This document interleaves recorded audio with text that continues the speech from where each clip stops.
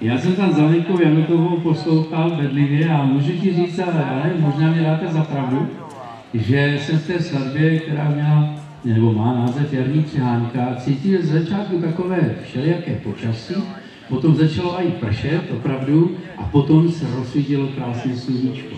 Tak opravdu, tak jsem to cítil a tak, tak to nějak v té svatbě bylo. Takže moc děkuji. Moc děkuji. Přátel, potles pro celou kapelu a pro Radka. Ano.